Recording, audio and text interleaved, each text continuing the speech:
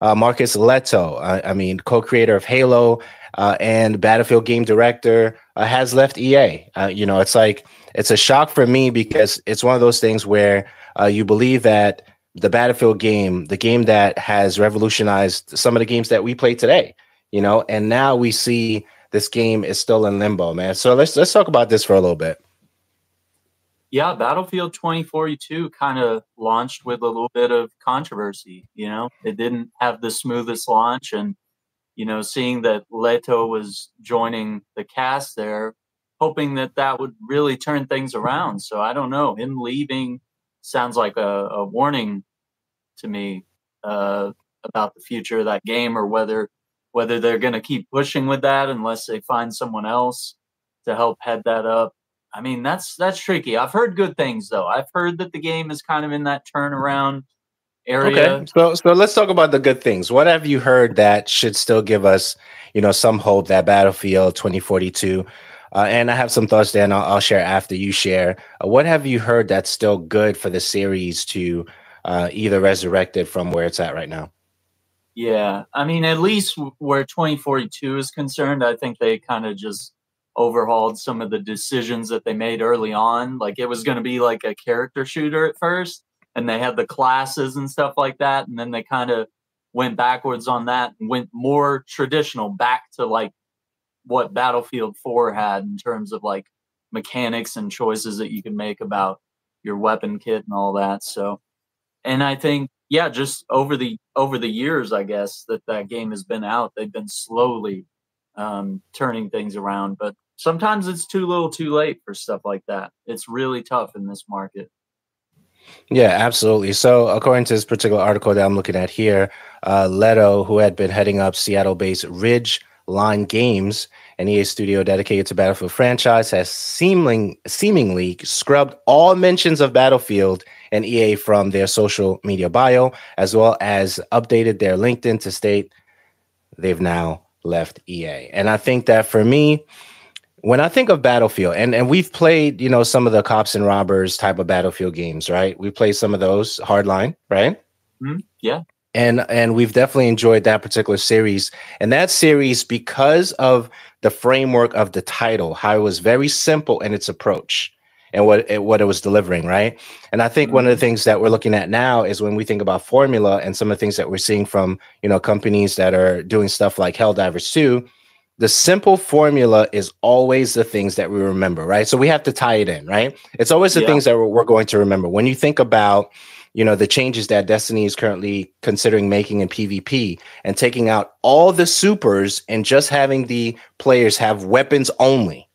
Okay. Mm when you think about changes like that where you know you look at uh, what halo has done with um, just the, the burst fire weapon and the the game no shields right yeah. so so why why is it why does it seem like it's difficult right now that battlefield doesn't just go back to the 1942 battlefield and give us that with the new technology that's what modern warfare has done for the current modern warfare games that we're playing right now we're not playing anything new. We don't we don't want anything new. We we want like I mean I mean just I mean tell tell me how you feel about that. We want no, the things right. that we want the things that work, right?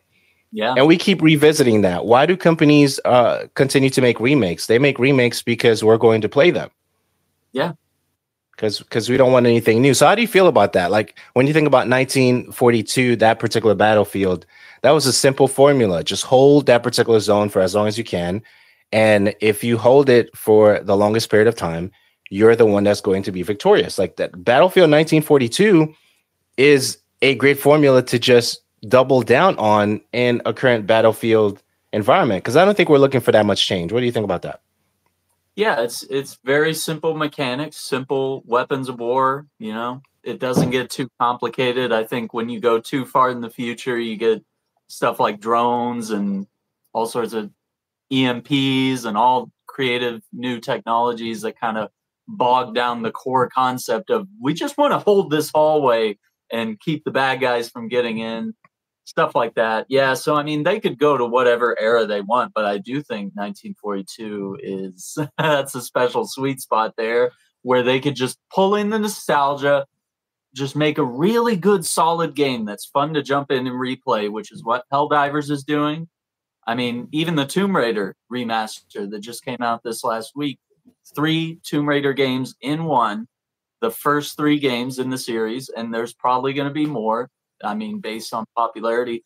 But yeah, you're right. I mean, we just want to play the old stuff, but make it new, you know? Give us Call of Duty, but throw on the new graphics, but give us the old maps and the old weapons that we love the sights and sounds of. So you're right. Yeah, well, absolutely. So, so a quick sidebar there. So, I'm currently watching the uh, Hideo Kojima uh, documentary, right? The one connect, um, connecting worlds, right? That's on Disney Plus. So, if you haven't, definitely check that out. You'll love it. Um, and I think that when you, we think of an individual that can uh, not necessarily get away but get away with the fact that they could say, "Hey, we're we're making something new. Uh, who's on board?" Hideo Kojima is the only person that I know of right now that can say, "Hey, this is a new concept. Uh, it's going to revolutionize how we think about you know movies or film, uh, movies or or games." And you know, people will buy in because it's Hideo Kojima. Outside of that, outside of that person, right? I don't know if there's any other person that we could just bank on like that and and pay for a project that we know nothing about. Death Stranding came out of nowhere for us, mm-hmm. right? It was a surprise. Uh, but now we see that it doesn't matter what Hideo Kojima comes up with, a company is going to back it. The game should be made, right? Based on the experience that we've seen. And now it's it's just now just learning a little bit more about how he thinks about things and i think the documentary shows a, a, good you know portion of that but before before we get you know move move too fast right so so Lehto has not formally announced their departure uh for or commented on the next steps and and my thing is battlefield is such a great game because of of all the things that we play now that has it has inspired and the fact that it's going out like that for me is just it's it's really sad it's really sad in a lot of ways. So so Battlefield One, did you play Battlefield One or check it out at all? Yeah. yeah. What'd you think about so Yeah.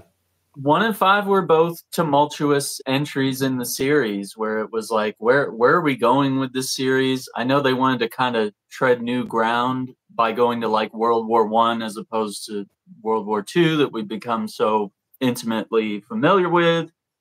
Um, but yeah, just it wasn't the secret sauce. I mean, people I, I think people actually flocked back to Battlefield 4 after they kind of got their fill of some of these new games. They were like, you know what? Battlefield 4 was like the most recent modern warfare entry with the secret sauce of what makes Battlefield great and what distinguishes it from Call of Duty, right? Those big, massive battles.